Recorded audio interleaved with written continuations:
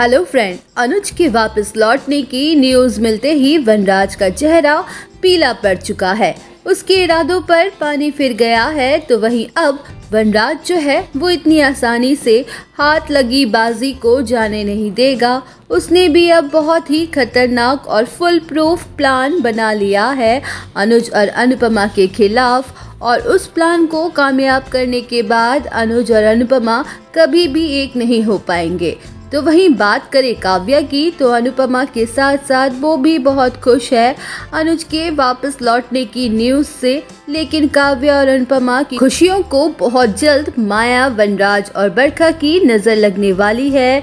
क्योंकि शो के विलन्स इतनी आसानी से नहीं होने देंगे उन दोनों का मिलन। वनराज ने भी प्लान बना लिया है तो वहीं माया भी तैयार है अनुज को अपने माया जाल में फंसाने के लिए। तो दोस्तों, आज की इस वीडियो में हम आपसे शेयर करेंगे उन तीनों के प्लान्स के बारे में, लेकिन उससे पहले आप सभी से एक रिक्वेस्ट है। अगर अभी तक आपने हमारे यूट्यूब चैनल टेली बूम को सब्सक्राइब नहीं किया है तो प्लीज़ पहले सब्सक्राइब कर लीजिए और साथ के साथ बेल आइकन को प्रेस करना ना भूलिए। तो चलिए दोस्तों, आपको बताते हैं पूरी बात। दरअसल बात करें यहाँ वनराज की तो काफ़ी ज़्यादा परेशान हो उठा है।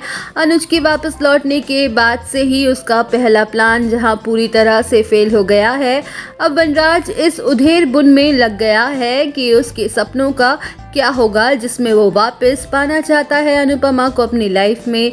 वनराज को डर है कि अनुज अगर वापस आ गया तो वो अपनी अनुपमा को वापस ले जाएगा अपने साथ, अपनी दुनिया में। तो वनराज तो ये बिल्कुल भी नहीं चाहता कि वो दोनों फिर से एक हो जाएँ। इसलिए उसने तैयारी कर ली है अपने बहुत ही बड़ी साजिश को अंजाम देने की। वही दूसरी बात करें काव्या की तो इस बात से काव्या काफ़ी ज़्यादा खुश हो चुकी है कि फाइनली अनुज अपनी अनुपमा को अपने साथ ले लेकर चला जाएगा और वो दोनों एक हो जाएँगे।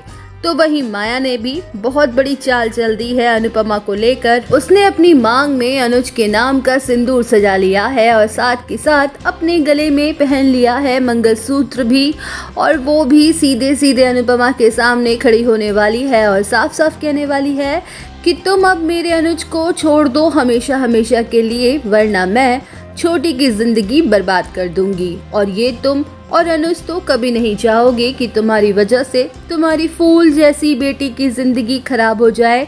तो इतना तो तुम कर ही सकती हो कि एक बच्ची की जान बचाने के लिए अपने अनुज को मेरे हवाले कर दो, क्योंकि तुम्हारे अनुज की जान मेरी छोटी में बसती है। जी हाँ दोस्तों, माया खेलने वाली है ये गंदा खेल अनुपमा के साथ। लेकिन दोस्तों, आपको क्या लगता है, क्या करेगा अनुज जब उसे इस गंदे खेल के बारे में पता चलेगा, वो फाइनली किसे चुनेगा? आप हमें कमेंट सेक्शन में कमेंट करके ज़रूर बताइएगा और वीडियो अच्छी लगी हो तो वीडियो को एक लाइक और चैनल को सब्सक्राइब करना ना भूलें।